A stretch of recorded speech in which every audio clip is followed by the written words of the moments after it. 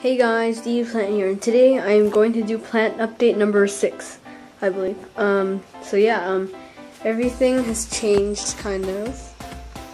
I was away for one month, and that's why I didn't do any more uh, plant videos. So let's get started.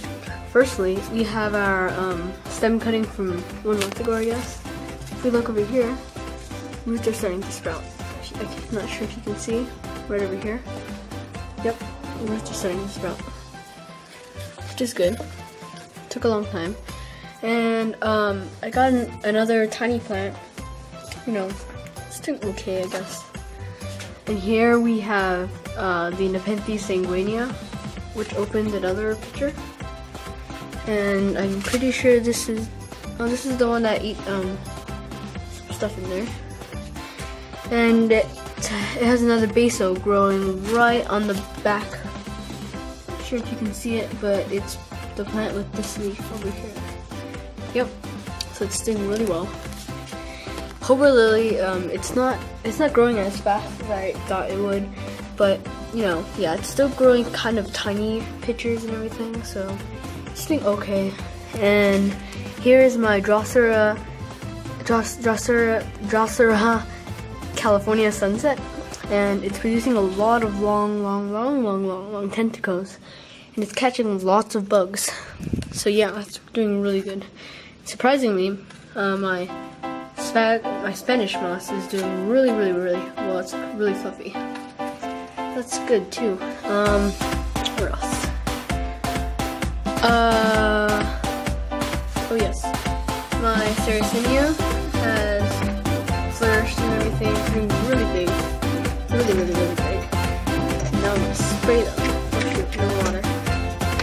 Spray.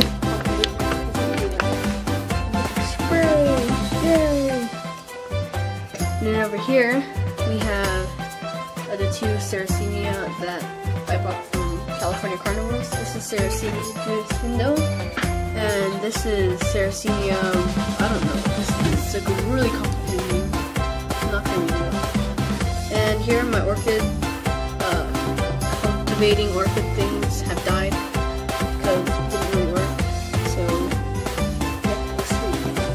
Over here, we have our long, long, uh, the Nepenthes spathulata by Ovada. It's grown like two years ago. Now it's like more scale or something like it. But it's doing pretty well, I guess. The leaves are growing smaller and smaller and smaller for some reason hope it's getting better. I'm pretty sure this one's gonna grow, and other ones will grow soon. My um, Drosera Adelaide is doing really well. The dew is, uh, it's, yeah, it's doing, it's growing a lot of dew, and as you can see, not sure if you can see actually, uh, on the near this mother plant, there's like this there's like this um Drosera spatulata or something. I don't know. There's a weird Drosera in there. Yep. Over here we have the flowered Drosera capensis. I already took the seeds out, so hopefully I can get some seeds out and grow more and more and more. Uh, here we have Sarracenia. Um, not sure what this one is, forgot. Uh, so yeah. Yep, that's the Sarracenia. This is my baby Nepenthes, not sure what the hybrid is. It's doing okay, I guess. And over here, we have Pinguicula moctezuma. It's doing as well as usual. And here are my Venus flytraps. Right over here, they've caught a lot of bugs. Oh, they're dying. God. Yeah, so. Oh yeah, and you guys have requested, this is in the Nepenthes on the back. stands about three feet or so pretty huge. And yeah, it's doing really well. It's just not pitchering because it's really dry out here in California. So yeah, thank you for watching.